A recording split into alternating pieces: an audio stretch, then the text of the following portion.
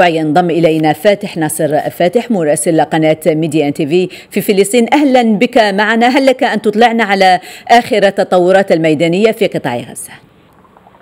نعم جوهر. منذ انتهاء الجمعة حتى تظاهر آلاف الفلسطينيين قرب حدود قطاع غزة في خمس نقاط اشتباك مع قوات الجيش الإسرائيلي التي فتحت نيران أسلحتها الرشاشة صوبهم وأمطرتهم قنابل الصوت والغاز.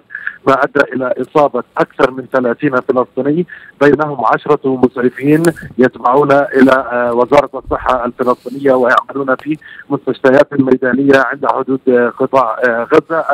المواجهات مستمرة حتى هذه اللحظة في هذه الجمعة التي أطلق عليها الفلسطينيون اسم جمعة إحراق العلم ألا وهو العلم الإسرائيلي.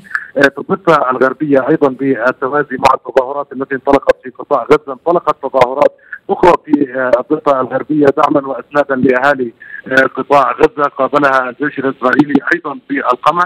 هناك عشرات الإصابات بحالات اختناق جراء استنشاقهم.